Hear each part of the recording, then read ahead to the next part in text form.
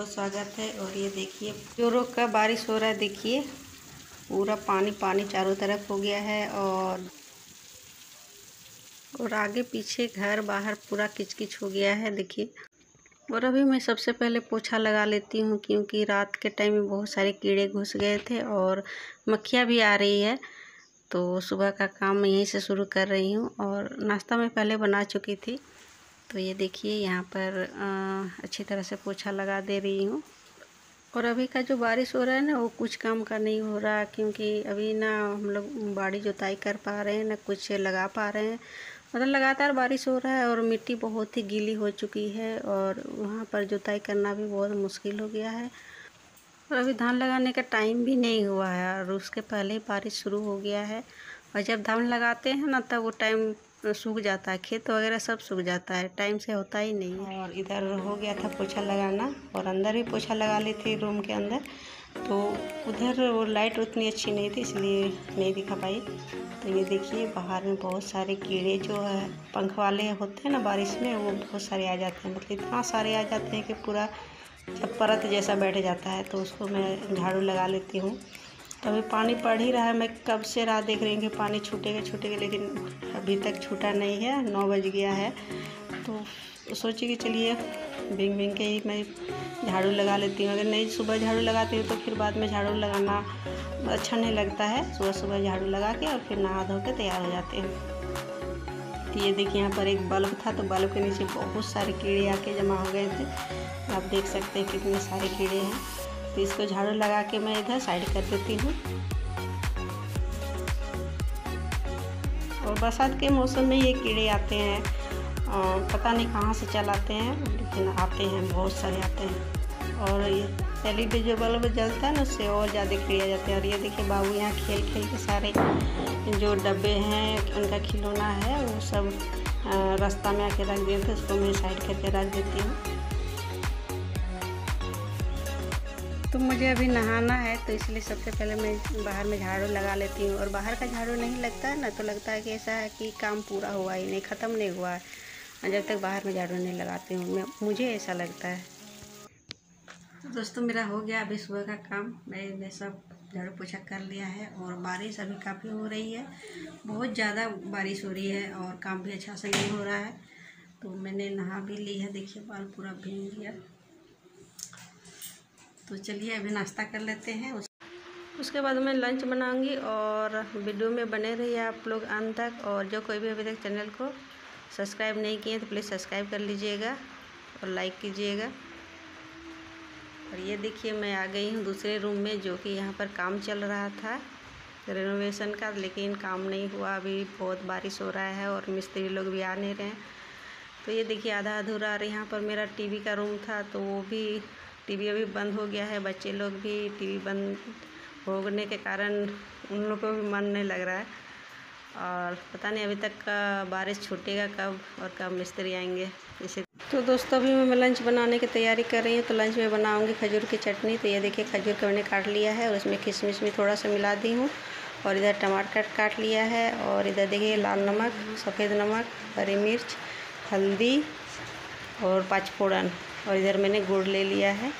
तो अभी मैं खट्टी मिट्टी चटनी बनाऊँगी। और ये देखिए मक्खियों का हमला। मतलब कि पोछा लगाने के तुरंत बाद ही फिर से मक्खियाँ पहुँचे हैं घर में।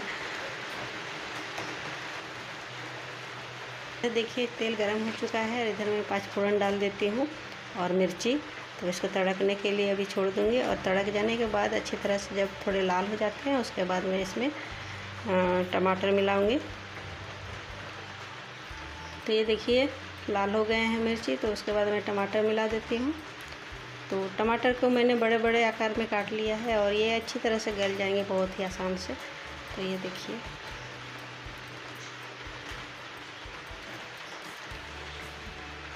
और उसके बाद मैंने हाफ़ चम्मच हल्दी मिला देती हूँ। और इधर मैं लाल नमक और सफ़ेद नमक दोनों को मिला दे रही हूँ। और लाल नमक मिलाने से क्या होता है कि उसमें थोड़ा सा अच्छा फ्लेवर आता है। तो इसको अच्छी तरह से थोड़ा सा भून लेती हूँ नमक को, टमाटर मिल जाने मिल जाने तक। और इधर मैं लाल मिर्च मिला दे रही हूँ थोड़ा सा तीखा के लिए। तो खट्टी मीठी जो चटनी होती है उसमें थोड़ा सा तीखा आने से और ज़्यादा स्वादिष्ट लगता है। और इधर मैंने जो पानी भिगो के रखी थी और उसके बाद किशमिश और खजूर को मिला देती हूँ। तो किशमिश और खजूर को भी थोड़ा सा भून लूँगी। और ये देखिए, इसमें जो टमाटर का रस होता है वो मिल जाते हैं तो और भी काफ़ी स्वादिष्ट लगता है। देखिए थोड़ा सा मैं हाफ़ गिलास पानी मिला देती हूँ। और ताकि ये थोड़ा सा अच्छी तरह से और भी गल जाए। और उसके बाद मैं गुड़ को ऐड कर दे रही हूँ। और इसमें गुड़ ऐड करने से मीठापन आ जाता है। तो टमाटर का खट्टा और गुड़ का मीठा मिलके बहुत ही स्वादिष्ट अच्छा लगता है इसका टेस्ट और खट्टी मीठी चटनी बन के रेडी हो जाती है। ये देखिए, मेरी चटनी बन के रेडी हो गई है। और ये खजूर जो है उतने गलेंगे नहीं, जितना टमाटर गल जाएँगे। तो ये ऐसे ही रहता है और इसी तरह खाने में अच्छा लगता है। तो ये देखिए, मेरी चटनी बन के रेडी हो गई है। काफ़ी स्वादिष्ट था खाने में। और चटनी के साथ गोभी का भुंजिया बना रही हूँ तो गोभी, शिमला मिर्च और गाजर, इसको छोटे छोटे आकार में काट ली थी और इसका मैं सूखी सब्ज़ी बना रही हूँ।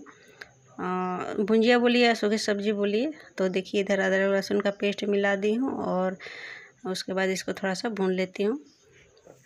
और इधर हल्दी पाउडर हाफ़ चम्मच मिला देती हूँ। तो अभी का सीज़न में गोभी उतना मिलता नहीं है बाज़ार में, लेकिन हसबैंड जी गए थे तो उनको मिल गया तो वो ले आए। और घर में जो है कि लौकी और तरोई अभी में निकल रहे हैं तो अभी बारिश के टाइम में अच्छा उतना नहीं लग रहा था, इसलिए मैं सूखी सब्ज़ी बना रही हूँ। और बारिश के टाइम में सूखी सब्ज़ी अच्छी लगती है। तो ये देखिए, मेरी सब्ज़ी आधा पक चुकी है। और इसको मैं ढक के पका लेती हूँ और ढक ढक के पकाने से बहुत अच्छी तरह से पक जाती है।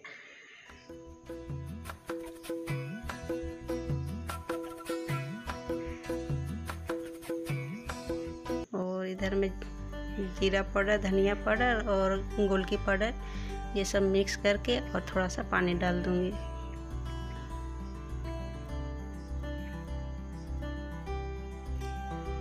और ये सूखे मसाले हैं तो इसमें थोड़ा सा पानी डाल के भुनने से मतलब क्या है, ये सूखे मसाले जलते नहीं हैं, इसी वजह से मैं थोड़ा सा पानी डाल के ही फ्राई करती हूँ। और ये देखिए, ढक ढक के पका चुकी हूँ और सब्ज़ी रेडी हो चुकी है।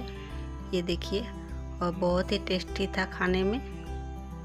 और अभी बारिश का मौसम में सूखी सब्ज़ी अच्छी लगती है तो यही तक थी आज की मेरी वीडियो। कैसी लगी आप लोग ज़रूर कमेंट करके बताइएगा। तो मिलती हूँ नेक्स्ट वीडियो में, तब तक के लिए सबको बाय बाय।